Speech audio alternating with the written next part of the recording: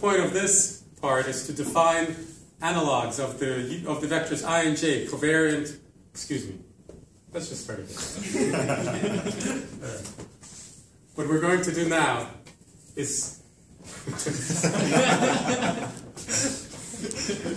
a slippery slope. We will have a special video, the outtakes.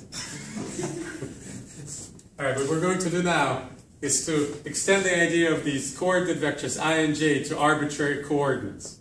So without leading you to the answer, I'll just tell you how it's done. It's done in a very beautiful way and actually consistent with what I said with just a few minutes ago, where I said that all important objects are obtained by differentiation.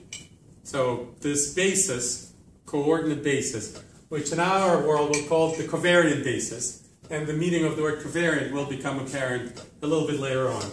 The covariant basis, I and J will be called the covariant basis, not the coordinate basis. And it is defined the following way. So we'll do it in the case of polar coordinates, but of course it works for all coordinate systems. So polar coordinates look like this. There is an arbitrary axis. It's not the x-axis. It can be a completely arbitrary axis. So a side note now. When you're defining a coordinate system, do not define it by a reference to Cartesian coordinates. So it's very tempting to say that x is r cosine theta and y is r sine theta, or that or r is x squared plus y squared square root and theta is whatever it is. It's very tempting to say that, but that requires another coordinate system to define the coordinate system you're about to use, which is not fair. Uh, to it's such a vague beginning. Well, what where did the coordinate system start? Where did the Cartesian coordinates come from? So each coordinate system must be defined on its own terms with just uh, by, by making reference only to geometric concepts. So the way you define a pol polar coordinate system, you say, pick an, an arbitrary axis. Pick an arbitrary axis. And that's your axis where the angle is zero. And then any point is defined by two coordinates. The distance to the arbitrary origin, so that should have been the beginning. Pick an origin, draw a straight line in an arbitrary direction, in direction of your choice in the direction ultimately dictated by the problem you're solving. And now every point will have two coordinates. One, the distance to the origin. Two, the angle that this line forms with the axis, counting in the counterclockwise direction. If you count it in the clockwise direction, it'll be a different coordinate system. So the coordinates of this point are, look at that, perfect. No, 2.1 and pi over 6. That's the coordinates of this point. So again, you draw coordinate lines. The coordinate lines look like this. These are the lines of constant theta. Uh, so I missed somewhere, right? So I'll draw 3. Why did I draw 3 like this? This is theta equals 3. But why this subtle angle? Because 3 is almost pi, right? So these are radians. 1, 2, 1, 0, 1, 2, 3, not quite pi, right? And then 6 will be over here. And then finally it becomes 6.28, right? So almost full angle. Might as well complete. Is that right? No, that's not right. They all don't quite make pi. So like this and like this. Wow. All right. These are the lines of constant theta, and here's the lines of constant r. Unit. It has to be, it has to somehow reference the geometric unit that existed in the space before you ever drew coordinates. So this is r equals 1, this is r equals 2. Perfect. This is a polar coordinate system. Let's define its coordinate basis. It's done in the following way. You pick an arbitrary origin. So for this, I'll go to yellow. Now yellow no, will no longer mean coordinate system. Uh, I will not mean an alternative coordinate system, not just part of the drawing. Let's define our basis at this point. So you consider the position vector r. Position vector r. r as a vector as a vector field was a perfectly well-formed notion before we introduced the coordinates. But now that we've introduced the coordinates, r becomes a function of two variables, r and theta. So now r is a function of two variables, r and theta. Or, more generally, here comes the first instance where you see new types of indices. r will be a function of our two coordinates. In particular, it could be r and theta, but generally it's z1 and z2. So coordinates are denoted by an upper index, superscript. That's just our notation. So now it's r and theta. When you have a function of r and theta, what can you do with it? Differentiate. Differentiate. So you differentiate. You find dr dr, and you find dr d theta. And that's your coordinate basis. That's your covariant basis. The most interesting part here will be drawing it. But let's define it. So it will be denoted by E sub r. E sub r will be the coordinate vector associated with r.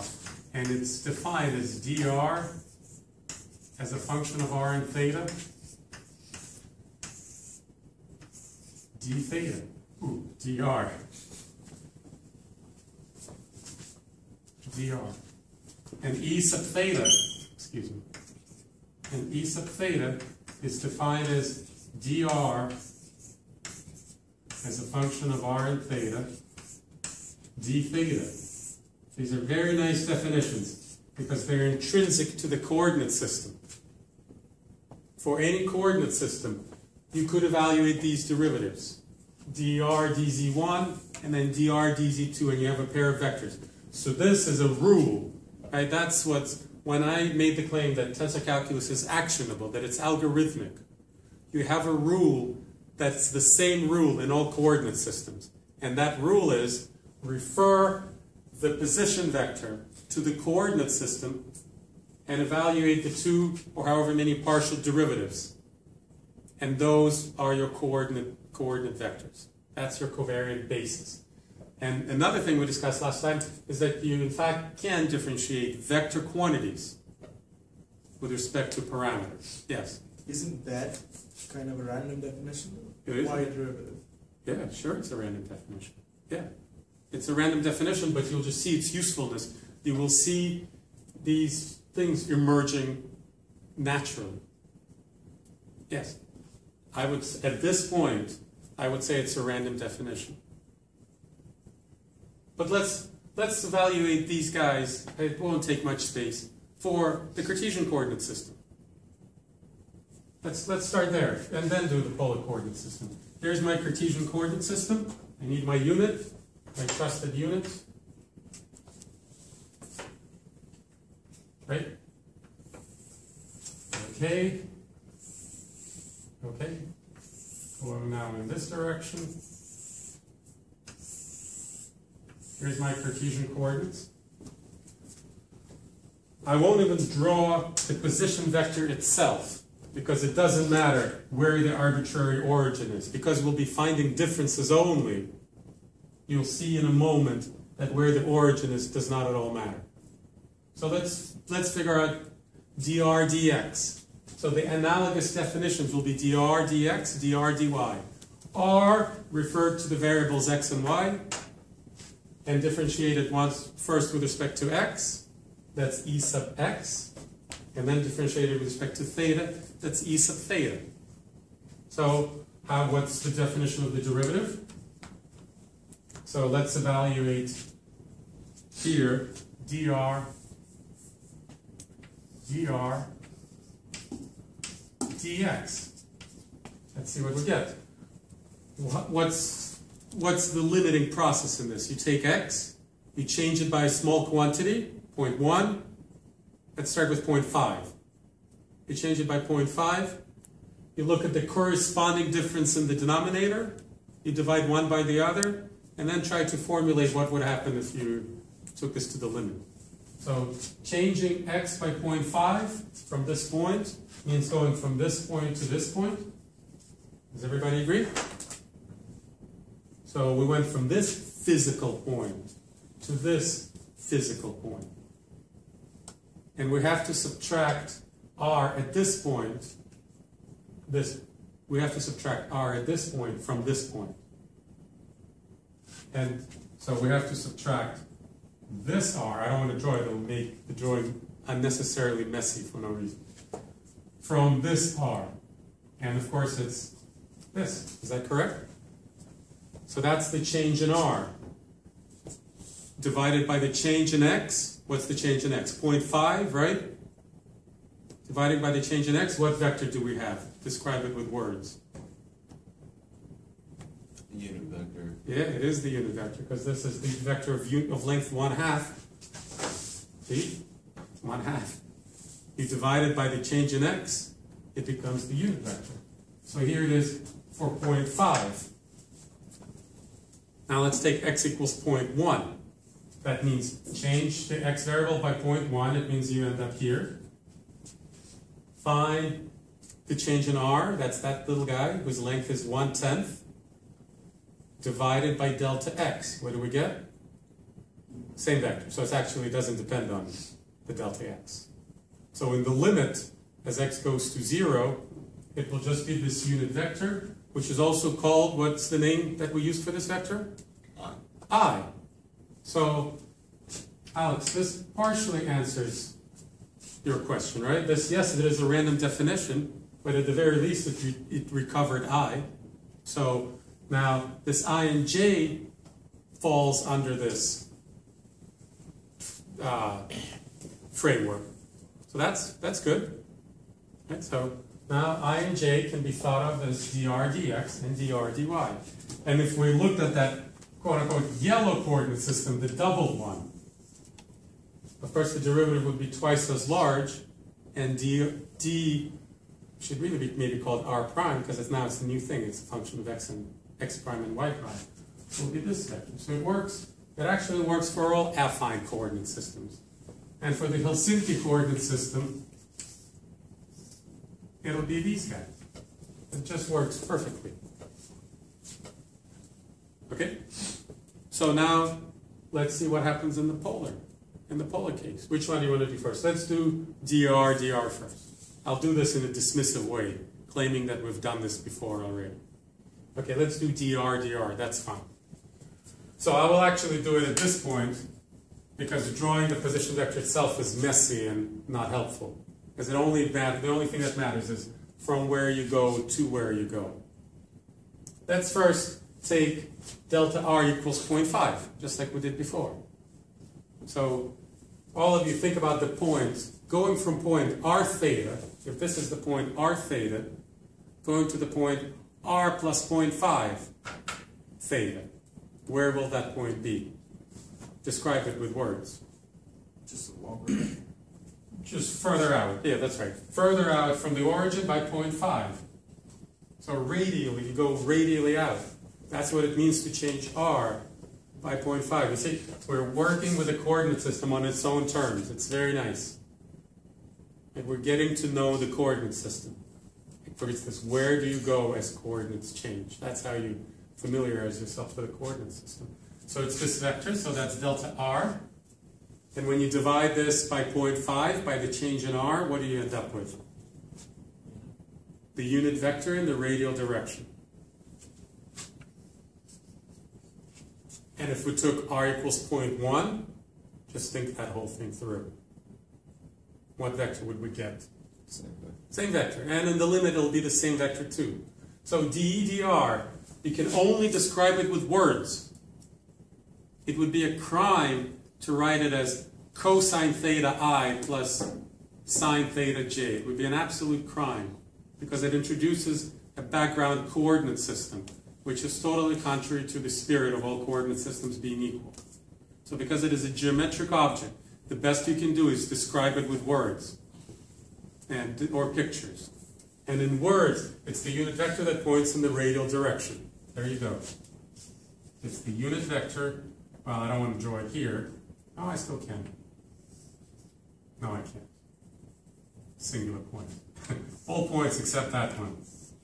This is all e sub r, no longer constant. e sub r. Unit vector in the normal direction. So the coordinate base, so what characterizes affine coordinate systems is the fact that the coordinate basis is the same at all points. Here, the coordinate basis will be different at all points. Let's now look at this point and evaluate e sub theta. E sub theta. You guys all think about what e sub theta is and realize that it's a problem that you did on your last homework. Because e sub theta is the derivative of the unit vector as it rotates around parametrized by the angle. So the derivative will be the unit vector in the orthogonal direction. Remember that? Yeah, so we don't have to do this again. We don't even have to approach it from the limiting process point of view. We just know this derivative. We're familiar with this derivative already. It's the unit vector in the orthogonal direction. That's on the unit circle. What about here? Think about d d theta, I'm sorry, e sub theta here. What will e sub theta be at this point? Twice as long. Twice as long. So you can also, you describe, you can describe its length. Its length is r. It points in the direction orthogonal to e sub r.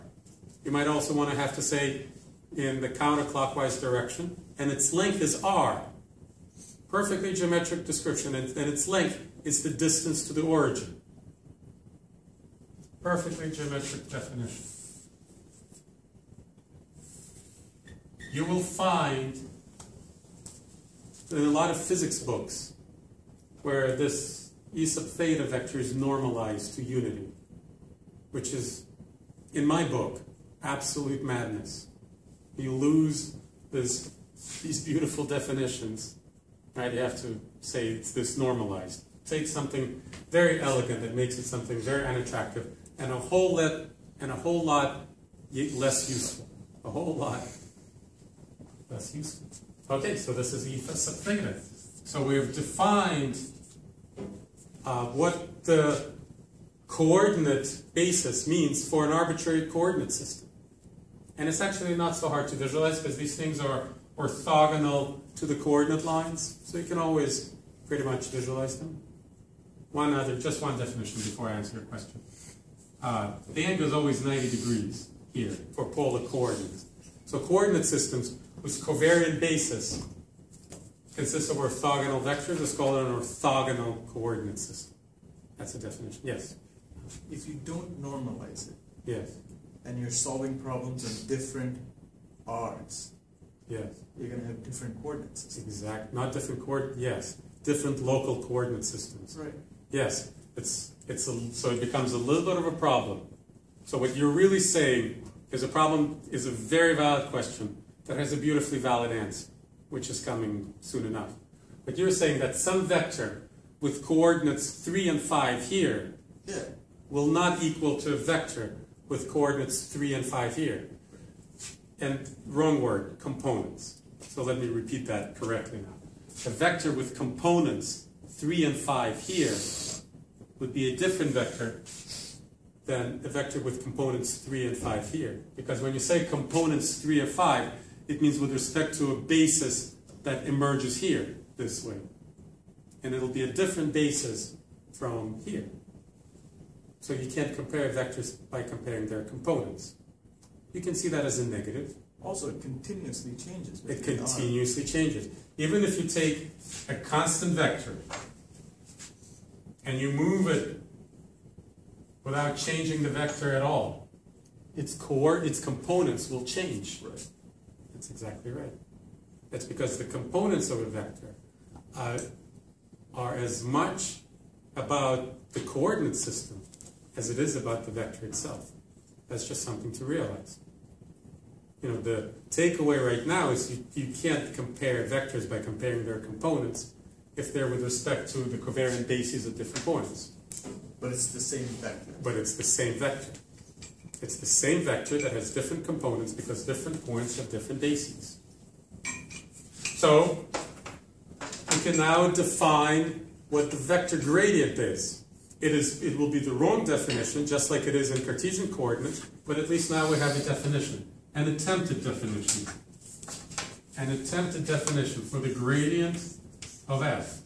So on the left-hand side, we have something beautiful and geometric. On the right-hand side, we have an attempt at defining it analytically. And you might naively write something like this, that it's df dr e sub r plus df d theta e sub theta. And you can easily convince yourself by taking scale polar coordinate systems that this just doesn't work. Not, not equal. So it needs to be fixed. The fix is coming pretty soon.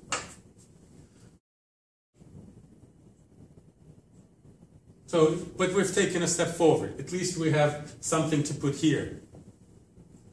And we can write very generally, once again, with the word not in there, that the gradient of f equals df dz1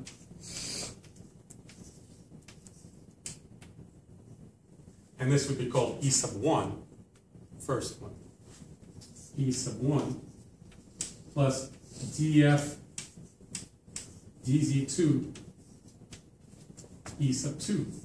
This, this is a definition that can at the very least be evaluated in any coordinate system. So it's a positive step forward. Except it just will depend on your choice of coordinates, so it needs a little bit of a fix. But we have taken a significant step, step forward. We have defined the coordinate basis for any coordinates. And can at least now have expressions that need fixing. Before we didn't even have that. Do we still have to normalize this like we did with the Cartesian one? No, absolutely. Oh, would that work? So it would actually work for pole. It would work in polar coordinates. That would be a fix, but it, not here. Okay.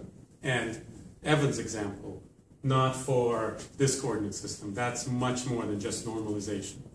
But here it would actually work. If you divided it by the length of e sub r squared, so in other words, by r, no, by 1, and this by r squared, that actually does work.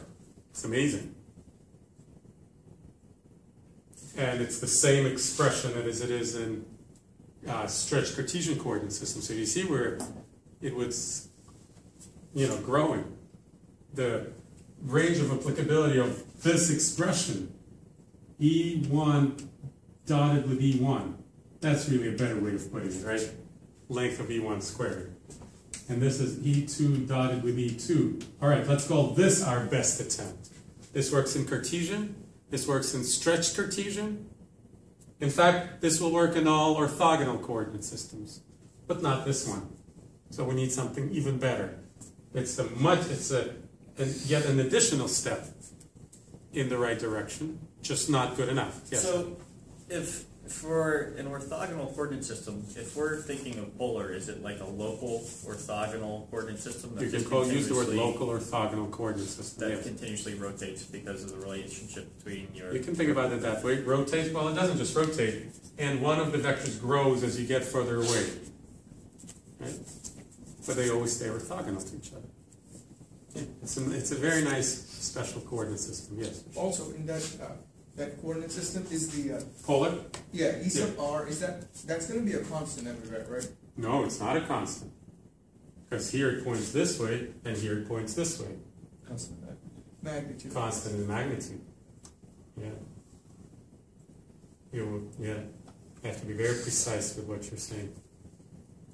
So it varies. There's no two points that have the same basis. No two points have the same basis. And the origin actually doesn't have a basis at all. The state is not defined. So it's a singular point. Okay? Let me show you one nice, if you can call it an application. You will see how was it your comment that this is a random definition? Well, now it already seems a little bit less random, right? In a mo- so I'm about to show you somewhere where it just naturally appears, and you will not at all think that it's random. You'll think that it's actually very nice. Consider a curve. Consider a curve. Remember we said x is a function of x is a function of let- let's even use arc length. S. This is where arc length starts its count. Positive in this direction, negative in this direction. Arc length is our parameter. And we would consider x as a function of s and y as a function of s. Well, let's call this a thing of the past. Our coordinates are now z1 and z2. I'm not even saying polar, Cartesian, or something totally different altogether. Our coordinates are now z1 and z2 in defined in this Euclidean space. And our curve, let's call it capital gamma. I use lowercase gamma in the book. Gamma. This is z1 as a function of s, z2 as a function of s. This could be in polar coordinates. R is a function of s, theta is a function of s. Could be in Cartesian. X is a function of x, y is a function of s. And, or any other. Here's the big question. It kind of, it will at first seem to you completely unanswerable. And then you'll see how surprising and how simple the answer is. Here's the unit tangent. What are the components of the unit tangent with respect to the basis, with respect to the covariant basis at this point? You can't even draw the covariant basis at this point, right? Because in polar coordinates it'll be one thing, right? If this is the origin of our polar coordinate systems, then the covariant basis might look something like this. If it's some other coordinate system, then the covariant basis can look totally different. And I'm not even specifying which coordinate system we're dealing with. Maybe it's Cartesian, and the covariant basis looks like this. Maybe it's polar, maybe it's some other coordinates altogether. Altogether different. So what is, and yet we have our unit tangent, perfectly defined vector, and we're playing the same game. We have a geometric concept, and we want to find an algebraic expression for it. In other words, we want to write t as t1 e1. Get used to components going, getting an upper index. Just get used to it. Plus t2 e2. We want to express t1 and t2 in terms of z1 of s and z2 of s, because this defines the curve. So everything about the curve should be expressible in terms of these equations, if you also know what coordinate system is imposed. So how do you define, how do you find t1 and t2? Dot products Dot products with e1 and e2? Yeah, like find the projection. Yeah, but it will still involve t. It'll be t dotted with e1, t dotted with e2, and these may not be orthogonal, so you need the cross terms as well. It's all doable, but it'll be still in terms of t. We want it in terms of these equations. It's the derivative. Derivative. You're saying it's dz1 ds and dz2, so this is dz1 ds, Right. and this is dz2 ds? No chance, right? For an, for an arbitrary coordinate system? Or is there? All right, so true to my statement, everything can be proved or derived by simple differentiation. All you have to do is write the right identity, write down the correct identity, and take the derivatives of both sides. Here's how you do it.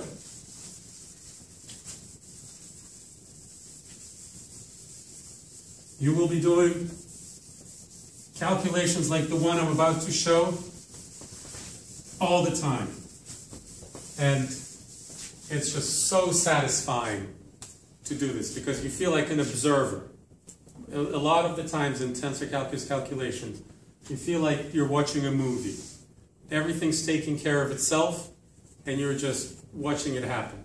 And whatever happens is the right thing. And whatever the final answer is, it's the right answer.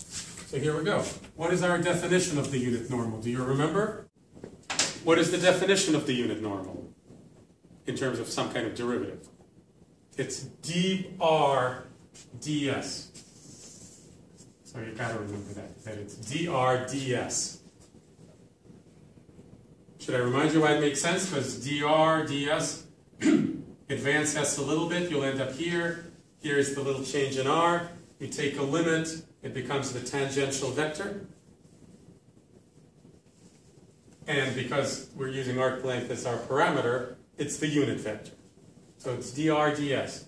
So t, might have been right as a function of arc length, is d position vector expressed as a function of the arc length.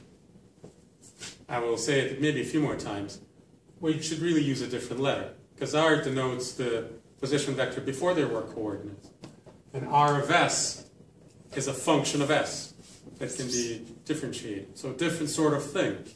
But that's okay because by writing of s, we're actually saying which one, what r means.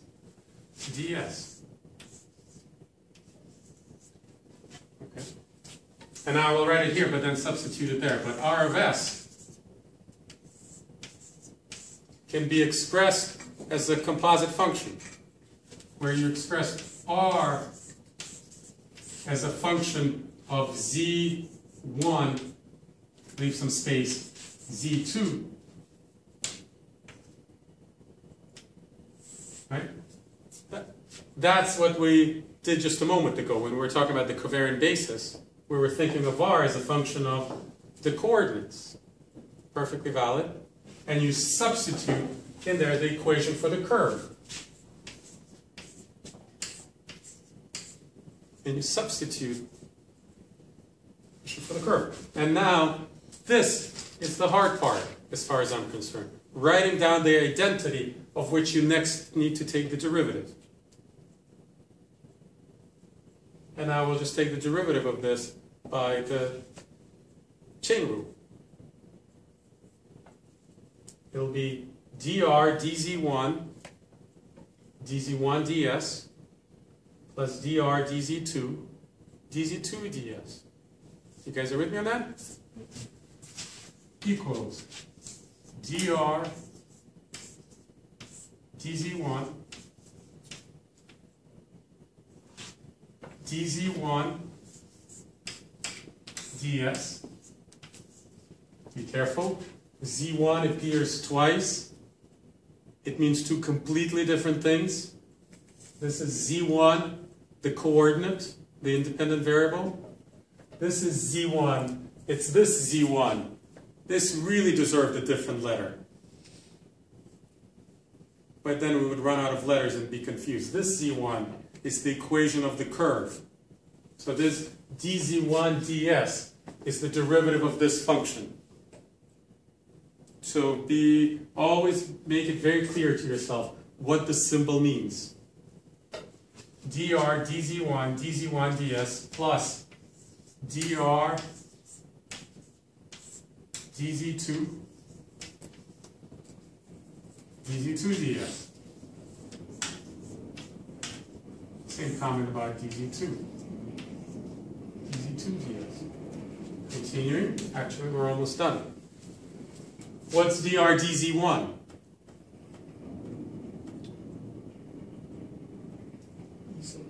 E sub 1. You see? Covariant basis. It appeared on its own. It, we didn't have to force it. And so dr dz1, now I will claim, now I will disagree with Alex and say it's an entirely natural thing. Because look how naturally it appears in calculations. So this becomes, I'll write it in opposite order. Ooh, correction, in yellow. These are full derivatives, because z is a function of one variable only. So that's the ordinary derivative.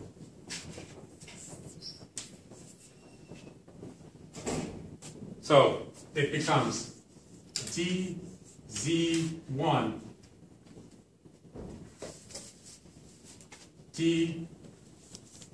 dz1 ds e1 plus dz2 ds e2. So indeed, you were right. this is this is T1 and this is the and this is T2. This is the component of the unit tangent with respect to E1 and this is the component of the unit tangent with respect to E2. Super simple calculation. You just have to write this is the hard part. You just have to write the right identity, which requires thinking very carefully.